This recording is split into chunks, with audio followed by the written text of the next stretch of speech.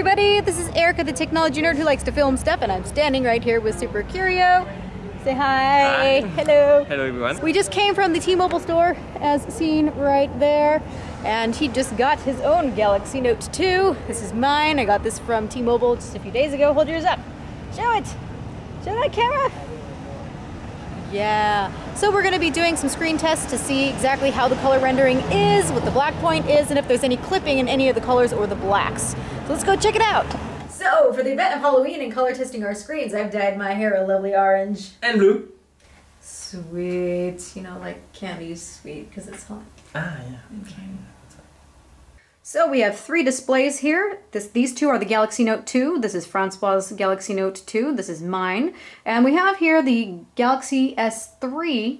What we're going to do is talk about the shadows. First, what you are seeing here are three different screens that are displaying going from gray all the way down to black. That's representing your shadows. So what you should be seeing here is just a perfect gray going all the way down to black in stages.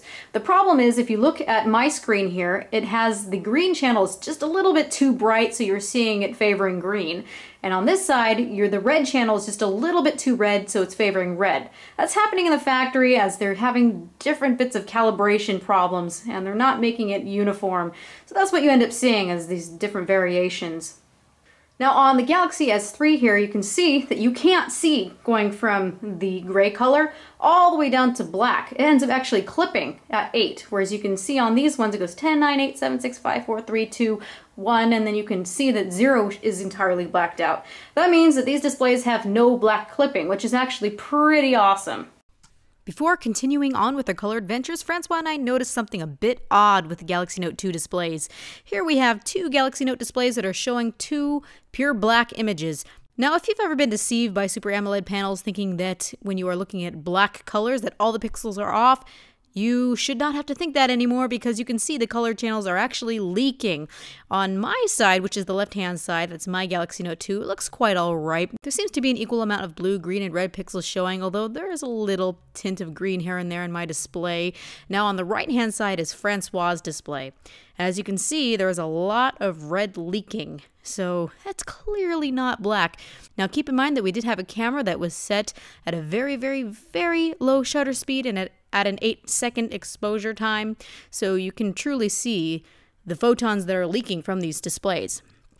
And I had wondered while looking at Francois' display, is it because those red pixels are leaking that the red channel seems to be just a bit too bright? Is it a limitation of the hardware? Is it a calibration issue?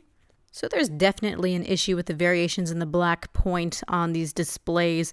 I don't know right now if it's a hardware issue or if it's a calibration issue and they're just not reading back the correct data and calibrating it appropriately, but we shall know sometime soon. Even though Samsung has fixed the black clipping effect, the Galaxy Note 2 still is not perfect, especially in regards to shadows. I showed you that when looking at this image here, you go from 21, which is a perfect gray color, all the way down to zero, which is your black. It is composed of a red, blue, and green channel. All those together make up what you are seeing here. So I'm gonna go ahead and show you the red channel.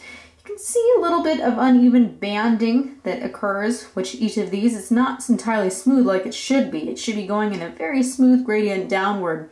This is very dark. It's hard to pick up on camera here, but at 3 and 2, they're very dark and then it clips at 1, 0. So 1 is not visible at all. Even though the red channel clips a little bit, there still is no black clipping in the overall image because you still have the green and the blue channels to compensate. So in a particular shadow where the red clips to black, you will still have the blue and the green. So you just won't see any red combined in that shadow. It's probably good to note that if you get a red channel only shadow in the dark gradient, it will clip black. I've seen this same behavior in two Galaxy Note 2s. Please let me know if you have any other types of variations. I'm very curious to hear if you have different variations in those channels or with any types of black clipping. The interesting thing about Samsung's display is that as you turn down the brightness, the color channels seem to lose their ability to display that particular color in the gradient. If you can see down here, it goes 7654. When I turn down the brightness, it starts to look more and more green. So it's losing its ability to show red. In this situation, the green channel seems to be all right.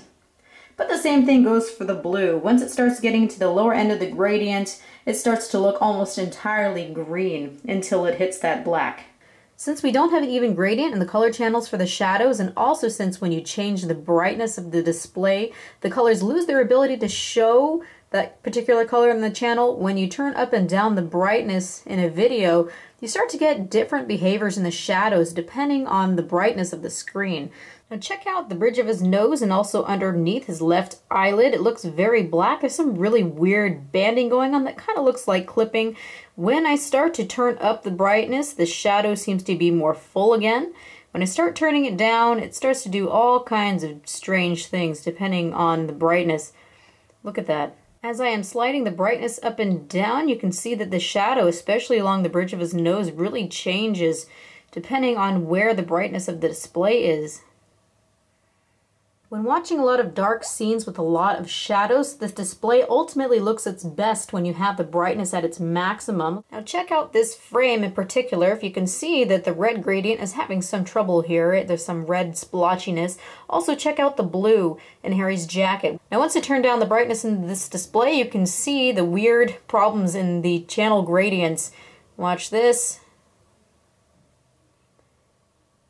Now it's all green. You can see in the brighter places that Harry's collar is blue, but this looks green entirely, as does his face.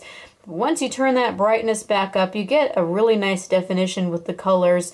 The shadows don't clip at any point, but what you're just losing is is the colors. But still, compared to the Galaxy S3, it does much, much better. I'm going to go ahead and grab the Galaxy S3 for you. We're going to show you some black clipping and how this actually does much better with both the colors and the clipping.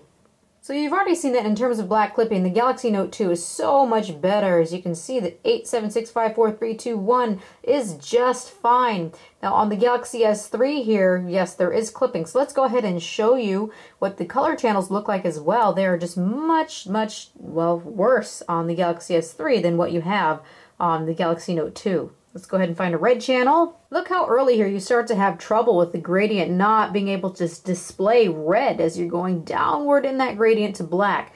Once you hit 8 again, it, it clips entirely. But before that, you have no definition in color at all. Once it starts getting to the darker colors, everything just looks pretty much black. Here we have the green channel, same thing with the green channel, and also the same thing with the blue channel. So Samsung has made quite a bit of improvements so here we have both the Galaxy S3 and the Galaxy Note 2 to maximum brightness. So go ahead and feast your eyes on the nice difference that Samsung has improved with the black clipping.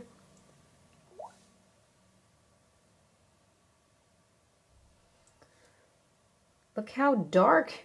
Very, very contrasty. Too contrasty. You can't really make out anything at all in the Galaxy S3.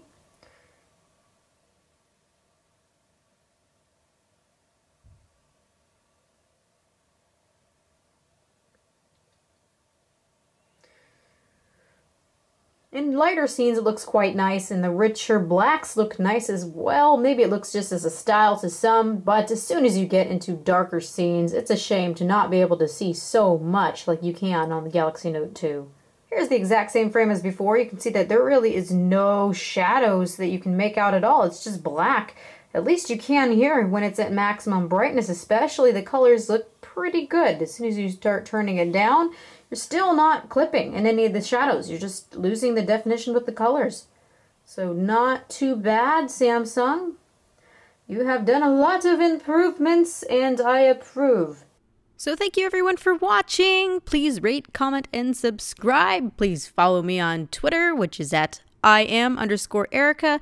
Also follow me on Facebook and Google Plus, which you can get to from my main channel page. Woohoo! Galaxy Note 2 rocks. It's a lot better right now than the Galaxy S3. Ah!